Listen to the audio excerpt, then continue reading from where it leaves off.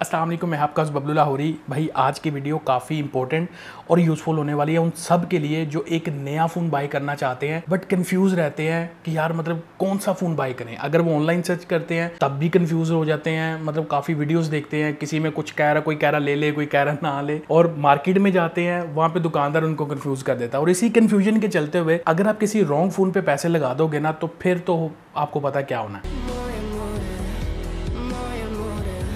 तो आप अपने लिए एक बेस्ट फ़ोन कैसे बाय कर पाओगे? आज की इस वीडियो में सिंपल और क्लियर टिप्स आपको देने वाला हूँ जिससे आपकी कंफ्यूजन बढ़ेगी नहीं क्लियर होगी। लाइक like, कहना क्या मैं भूल जाता हूँ आप करना ही भूल जाते हो वीडियो को। तो वीडियो अच्छी लगती है तो मेरे भाई लाइक वाइक कर दिया करो थोड़ा सा मतलब अंदर से मोटिवेशन आता है। और शेयर भी कर देना नए हो तो चैनल को सब्सक्राइब भी कर लेना नेक्स्ट वीडियोज़ आपको मिलती रहेंगी। देखो फ़ोन तो आजकल हर एक को ही लेना है बट यह है कि फ़ोन लेने से पहले ज़ाहिर है हर बंदे की अपनी रिक्वायरमेंट्स होती हैं। आप अगर कोई फ़ोन लेने जा रहे हो आपको अपनी रिक्वायरमेंट्स का पता होना चाहिए कि किस लिए भाई आपको फ़ोन लेना है। आपको मीडिया ज़्यादा कंज्यूम करना है। आपको कैमरा के लिए फ़ोन चाहिए, आपको गेमिंग के लिए फ़ोन चाहिए, या फिर day to day normal type के यूज़ के लिए आपको फ़ोन चाहिए। तो जितनी क्लैरिटी इस चीज़ पे आपके माइंड में होगी, आपको एक अच्छा फ़ोन डिसाइड करने में ये काफ़ी हेल्प करेगी। एक और चीज़ यहाँ पे ऐड कर दूँ कि कभी भी किसी कंपनी का फ़ैन बन के फ़ोन मत बाय किया करो। मतलब ऐसा नहीं है कि मैं होंडा ही लैसा, मैं ओप्पो ही लैसा, मैं वीवो ही लैसा। ठीक है, अगर किसी ब्रांड ने कोई अच्छा फ़ोन दे दिया, आपने उसको यूज़ कर लिया नेक्स्ट आप अपग्रेड करना चाह रहे हो, आपका होता है मैंने इस ब्रांड का यूज़ किया, मुझे उसी ब्रांड के अंदर अच्छा मिल जाए। और वो जो ब्रांड है, वो अपनी फिर वो सस्ते नशे वाली हरकतों पर आ जाता है। जैसे रेनो इलेवन देख लो,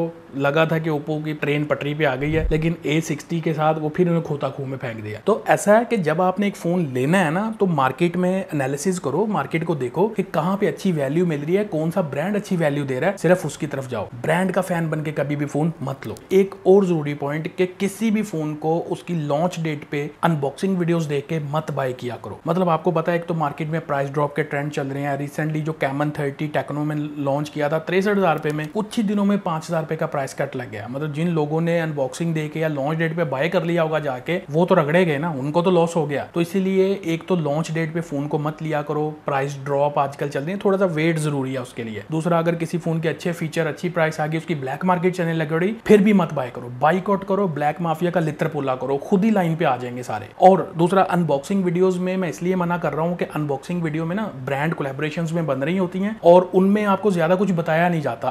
पता सारा ही होता है क्रिएटर को कि इस फ़ोन की प्राइस कैसे आई है, इस फ़ोन के अंदर क्या कॉन्स हैं, क्योंकि ज़ाहिर है, एक एक्सपर्ट के हाथ में आप फ़ोन दोगे ना तो उसको पता चल जाता है क्या चीज़ है।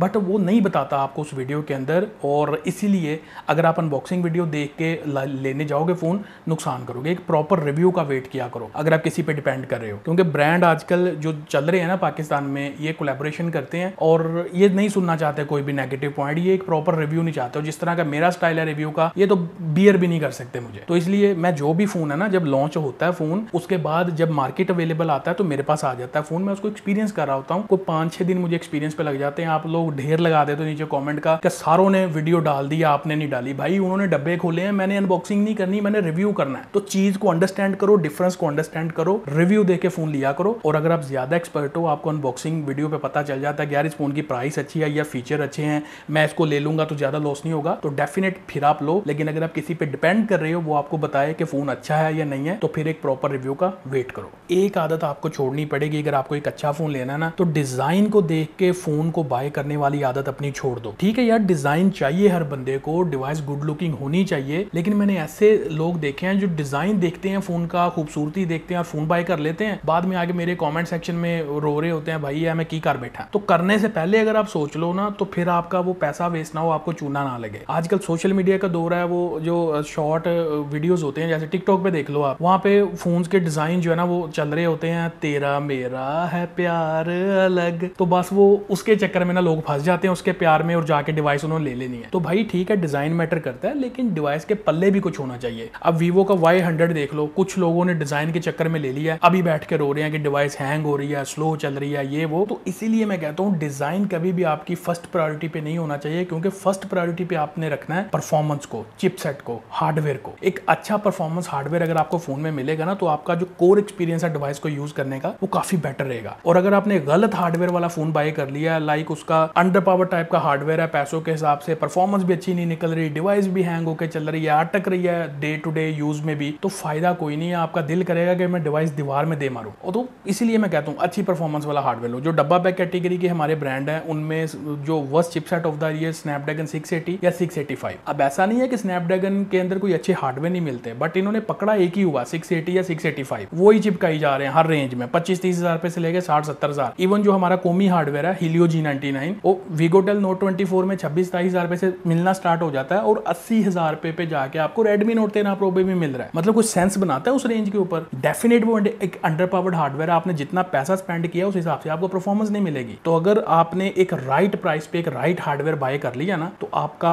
मज़ा दुबाला हो जाएगा। लाइक हार्डवेयर की कमी नहीं है। मटरोला जी फिफ्टी फोर आपको डेमेंसिटी सेवेंटी ट्वेंटी का हार्डवेयर दे रहा है, चालीस से पैंतालीस की कैटेगरी में। इवन ओप्पो ही आपको रेनो इलेवन एफ़ में दे रहा है डेमेंसिटी सेवेंटी फिफ्टी का हार्डवेयर मतलब हार्डवेयर अवेलेबल है, ये ब्रांड लगा नहीं रहे। तो आपने प्रॉपर इनका बाइकआउट करना है ताकि ये सारे लाइन पे आ जाए, आपको एक अच्छा हार्डवेयर प्रोवाइड करें। और किसी को अगर गेमिंग करनी है तो ज़ाहिर है गेमिंग के लिए मिनिमम क्राइटेरिया सिक्सटी एपीएस है मेरे हिसाब से। फोर्टी एपीएस आजकल डब्बा पैक सारे ब्रांड है, उनमें फोर्टी एपीएस मासू भाई दो फ़ोन है। एक रेनो इलेवन एफ़ है, जो जिसमें आपको पचहत्तर हज़ार रुपए की रेंज में सिक्सटी एपीएस गेमिंग मिल जाती है बट वो स्टेबिलिटी नहीं दिखाता इतनी एफपीएस में सिक्सटी एफपीएस में। और कैमन थर्टी प्रो रिसेंटली आया नाइनटी एफपीएस देता है जी हंड्रेड के की डिवाइस है। तो टेक्नो ब्रांड पे इतने पैसे लगाना जो ना आई थिंक वर्थ इट नहीं है। लोगों के पास क्या सोल्यूशन रह जाता है? फिर वो जाते हैं किट फ़ोन की तरफ़, या जो लोकल वाले यूज़ फ़ोन है। लोकल वाले जो यूज़ फ़ोन है, जैसे M I ten T Poco F three या फिर Realme G T master edition वो मार्केट में अवेलेबिलिटी उनकी बहुत लिमिटेड है। फिर ऑप्शन आ जाती है किट फ़ोन की। किट फ़ोन में लोगों को अच्छा अच्छा हार्डवेयर बड़ा अट्रैक्ट करता है। अभी ये देखो, ये फ़ोन मैं यूज़ कर रहा हूँ। एक्सपीरिया फाइव मार्क थ्री है। पैंतालीस हज़ार रुपए की कैटेगरी में स्नैपड्रैगन ट्रिपल एट का हार्डवेयर है। ये चीज़ें यूज़र को अट्रैक्ट करती हैं और मार्केट में जाके वो चूना लगवा लेता है। क्योंकि मार्केट में रंग बिरंगा स्टॉक है रीफब स्टॉक है, मसले वाला स्टॉक है, उसको नहीं चेक करना आता, वो चूना लगवा के आ जाता है। फिर कह रहा होता है, भाई मतलब मेरे साथ क्या हो गया? तो इसीलिए मैंने एक अपनी प्रॉपर टीम हायर की हुई है, जो मेरा टेस्टेड फ़ोन आपको प्रोवाइड करती है। और अगर इन केस फिर भी कोई इशू निकलता है तो एक दो दिन होते हैं बैकअप के, आप फ़ोन वापस दे के पैसे ले सकते हो। तो इससे ज़्यादा रिलायबल तो नहीं ना मतलब आपके पास कोई चीज़ हो सकती। तो अगर आपको किट फ़ोन भी लेना है तो मेरे से ना भी बाय करो, कहीं से भी बाय करो। रिलायबल सोर्स से बाय करो, मेरा कहने का मकसद ये है। परफॉर्मेंस के साथ एक ज़रूरी जो चीज़ आपने माइंड में रखनी है, वो है रैम स्टोरेज का कॉम्बिनेशन के आज के टाइम पे 2024 में कितनी रैम और कितनी स्टोरेज होनी चाहिए। तीस हज़ार का बजट अगर आप लगा रहे हो किसी फ़ोन पे तो कम अज कम ना अठाईस का रैम स्टोरेज कॉम्बिनेशन होना चाहिए। इससे ज़्यादा हो जाए तो प्लस पॉइंट है, इससे नीचे होगा तो फिर वो कंप्रोमाइज वाली कैटेगरी आ जाएगी।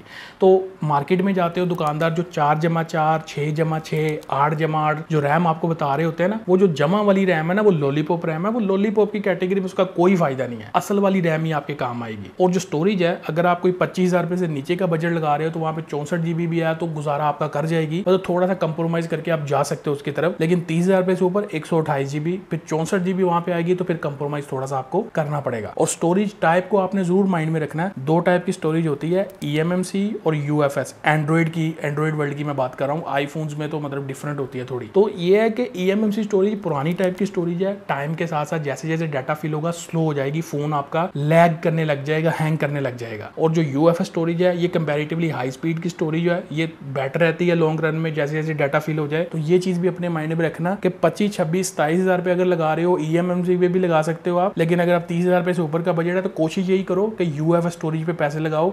अगर कुछ डिवाइस पे कुछ अदर फीचर अच्छे मिल रहे हैं ई एम एम स्टोरेज जैसे Realme C sixty seven है कुछ तैतीस चौंतीस में आपको मिल गया तो स्टिल आप जा सकते हो कुछ कंप्रोमाइज के साथ, लेकिन प्रेफर आपने करना है कि आपको यू एफ़ स्टोरेज वाला फ़ोन मिले। डिस्प्ले प्रायोरिटी को भी अपने माइंड में ज़रूर रखना, क्योंकि एक फ़ोन में ज़्यादा जो इंपॉर्टेंट चीज़ है ना, वो उसका डिस्प्ले भी होता है। सारा टाइम आपने डिस्प्ले के साथ इंटरेक्ट करना है। तो डिस्प्ले क्वालिटी भी बेटर होनी चाहिए, और डिफरेंट टाइप के डिस्प्लेज हैं एमोलेड है आईपीएस है ओलेड है डिफरेंट टाइप के जो भी आपकी प्रेफरेंस है फॉर द प्राइस सेगमेंट आप देख लेना। आईपीएस भी बुरा नहीं होता, ये ट्रू टू लाइफ कलर्स आपको दिखाता है। अगर अच्छी क्वालिटी का आईपीएस पैनल है तो मतलब अच्छी क्वालिटी रहती है उसकी। बाकी अगर आपको थोड़े वाइब्रेंट कलर्स अच्छे लगते हैं मीडिया कंज्यूम करते हो, आप एमोलेड को डेफिनेट प्रेफर करोगे या ओलेड को प्रेफर करोगे, बाकी 90 हर्ट्ज लेना है या 120 हर्ट्ज लेना है, ये बजट के हिसाब से किस डिवाइस में, कहाँ पे क्या ऑफ़र किया जा रहा है, किसी रिव्यू में क्या ओपिनियन दिया जा रहा है तो ये चीज़ें आप देख लेना। और जहाँ पे रेजोल्यूशन की बात है ना, देखो पच्चीस हज़ार पे अगर आप किसी फ़ोन पे लगा रहे हो, या इससे नीचे का बजट है फिर आप सेवन ट्वेंटी पी रेजोल्यूशन वाला फ़ोन भी आपको मिल रहा है ना तो आप देख सकते हो आईपीएस में। और अगर आप पच्चीस हज़ार से ऊपर की कैटेगरी में आ जाते हो तो फिर आपने full H D plus resolution वाला फ़ोन ही लेना है। चाहे वो एमोलेड हो ओलेड हो या, आईपीएस डिस्प्ले हो सेवन ट्वेंटी रेजोल्यूशन वाला फ़ोन आपने पच्चीस हज़ार से ऊपर उस पर एक रुपया भी स्पेंड नहीं करना। और आजकल कर्व डिस्प्ले और फ्लैट डिस्प्ले का भी ट्रेंड चल रहा है। कुछ लोगों को कर्व डिस्प्ले अच्छे लगते हैं जरा थोड़ी खूबसूरती होती है उनके अंदर। लेकिन मैं पर्सनली थोड़ा फ्लैट डिस्प्ले को प्रेफर करता हूँ। आपकी जो चॉइस है नीचे कॉमेंट्स में मुझे ज़रूर बताना। कैमरा वाला जो सेगमेंट है है ये भी बड़ा इंपॉर्टेंट है, इसको भी इग्नोर नहीं किया जा सकता। तो आजकल आपको पता है, जरा नंबर गेम कैमराज की ज़्यादा चल रही है। पचास मेगा पिक्सल एक सौ आठ मेगा पिक्सल दो सौ मेगा पिक्सल तक मतलब सेंसर ऑफ़र किए जाते हैं। मतलब दौड़े लगी हुई है मेगा पिक्सल को। मेगा पिक्सल के नंबर को मत देखा करोगे भाई इसमें दो सौ मेगा पिक्सल है, यही तो मतलब चाहिए था मुझे। यही बेस्ट है। हालाँकि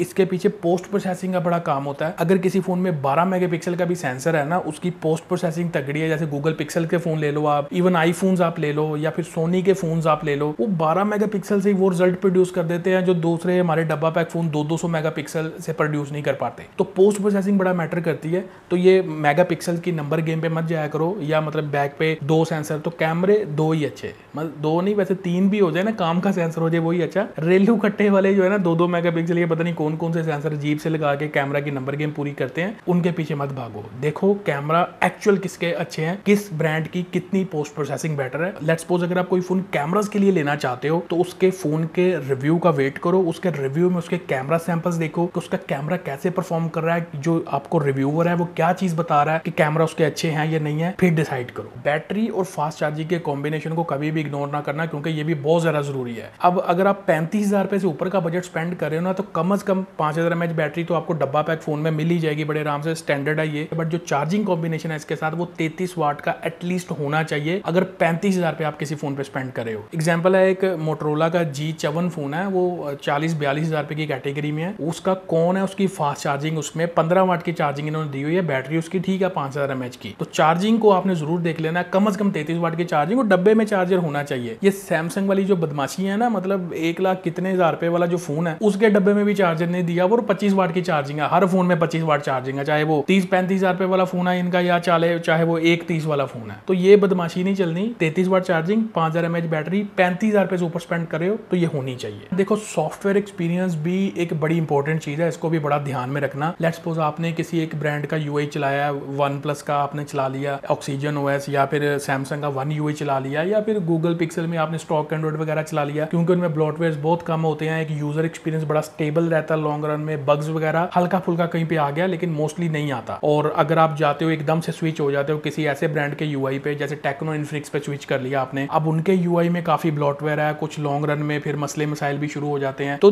वहाँ से सैमसंग यूआई से या दूसरी यूआई से आने वाला जो बंदा है ना, वो तो इरिटेट हो जाएगा। और अगर कोई इन्फिनिक्स टेक्नो का यूज़र है, वो काफ़ी टाइम से चला रहा है, वो यूज़ टू एज यूआई के साथ, वो निज़ाम चलता रहेगा उसका। तो ये बड़ा इंपॉर्टेंट फैक्टर है, अगर आप किसी दूसरे एक ब्रांड से दूसरे ब्रांड के यूआई पे स्विच कर रहे हो ना थोड़ा सा सर्च कर लिया करो थोड़ा सा रिव्यू देख लिया करो कि किस तरह का उसका यूज़र एक्सपीरियंस है सॉफ्टवेयर का। और जो बाकी अपडेट को लेके है कि अपडेट तो अब मेंशन होनी चाहिए, जो भी डब्बा बैग फ़ोन आप लो कम अज कम दो साल की जो मेजर एंड्रॉइड अपडेट होनी चाहिए। ब्रांड को मेंशन करनी चाहिए अपने सोशल मीडिया हैंडल पे या कहीं पे भी। और अगर कोई ब्रांड मेंशन नहीं कर बाइकआउट करो। मत बाय करो उसका फ़ोन क्योंकि फ्यूचर में आपको सॉफ्टवेयर अपडेट मिलनी नहीं है। आपका दोस्त एक लेटेस्ट अपडेट यूज़ अपना करके फ़ोन को यूज़ कर रहा होगा और आप उसके सामने पुराना यू चला रहे होगे। वो लेटेस्ट फीचर आप इंजॉय नहीं कर पाओगे। तो दो मेजर एंड्रॉइड अपडेट और तीन साल की सिक्योरिटी पैच अपडेट जो ब्रांड इस चीज़ को इंश्योर करता है, अपने सोशल मीडिया हैंडल पे मार्केटिंग मटेरियल के साथ यूज़ करता है, उसी ब्रांड को प्रेफर करो। बाकियों को छुट्टी करवाओ। तो इस पॉइंट को इग्नोर ना करना। देखो, कुछ नेटवर्क कनेक्टिविटी वाले पॉइंट में यहाँ पे ऐड कर दूँ, और एक और चीज़ है इसके साथ कि 4G फ़ोन लेना चाहिए कि 5G फ़ोन लेना चाहिए। पाकिस्तान में रहते हुए ना, इस चीज़ पे आपको कंफ्यूज नहीं होना चाहिए क्योंकि 5G अभी तो है नहीं, और आगे भी कोई पता नहीं है कि कब आना है, कब नहीं आना, क्योंकि पिछले तीन चार साल से हम ही कह रहे हैं, डेढ़ दो साल में आ जाना तो अभी तक तो नहीं आया। तो बहरहाल देखो कब आता है। बहरहाल आपको फाइव हार्डवेयर अच्छी प्राइस पर अगर मिल रहा हो ना तो प्रेफर आपको फाइव हार्डवेयर ही करना चाहिए। और ऑब्वियसली जब ऑप्शन नहीं होगी तो आप करोगे भी उसी को। लेकिन अगर फोर हार्डवेयर भी आपको मिल रहा है कंपेरेटिवली तगड़ा हार्डवेयर है तो फिर आप फोर की तरफ़ भी जा सकते हो। बट एक दो चीज़ें माइंड में रखना कि फोर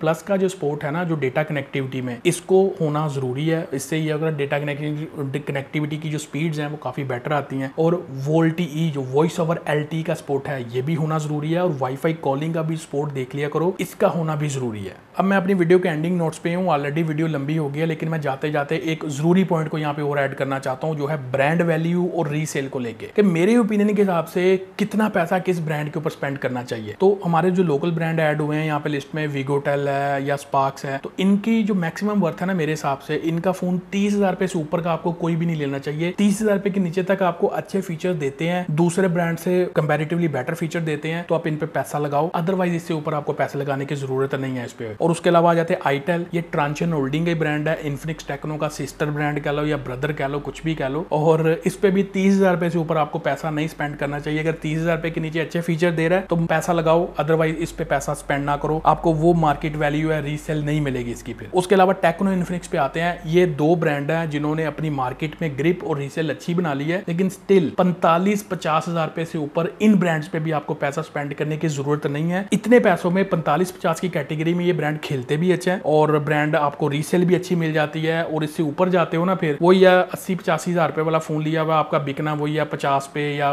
पचपन हज़ार रुपए पे या इस तरह करके कुछ ना तो उस हिसाब से ब्रांड वैल्यू नहीं है। तो इन्फिनिक्स टेक्नो पैंतालीस से पचास हज़ार रुपया। बाकी ओप्पो वीवो सैमसंग और रियलमी ये वो ब्रांड है, या रेडमी वो ब्रांड है। अगर ये आपको हंड्रेड के तक भी डेढ़ लाख तक भी कोई अच्छी चीज़ आउट ऑफ़ द वे जाके दे देते हैं तो डेफिनेट आप इन पे पैसा स्पेंड कर सकते हो। कंपेरेटिवली आपको बेटर रीसेल इनके ऊपर मिल जाएगी। लेकिन इसका ये मतलब नहीं है कि ये जो ओप्पो वीवो सैमसंग या रेडमी जैसे ब्रांड है, आपको कुछ भी ओवर प्राइस डिवाइस आपको थमा देंगे तो वो आप ले लोगे तो वो मार्केट में अच्छी निकल जाएगी, ऐसा नहीं है। इनके जो थके हुए रॉन्ग फ़ोन है ना, उनको नहीं बाय करना। जो इनके हॉट फ़ोन है ना, मैं उनकी बात कर रहा हूँ बस। तो इसी के साथ ही ये ज्ञान भरी, ये इन्फॉर्मेटिव भरी वीडियो को मैं क्लोज करता हूँ, क्योंकि वीडियो ऑलरेडी बड़ी लंबी हो गई है। तो उम्मीद है कि आपकी जो कन्फ्यूज़न है, वो काफ़ी हद तक क्लियर होगी होगी। स्टिल कोई कन्फ्यूज़न है, भाई वीडियो के कॉमेंट्स में आ जाओ, वहीं पर आपको गाइड करता हूँ। वीडियो अच्छी लगी हो तो लाइक शेयर सब्सक्राइब करके आप जा सकते हो। मैं मिलता हूँ अगली वीडियो में। थैंक्स फॉर वॉचिंग अल्लाह हाफिज़।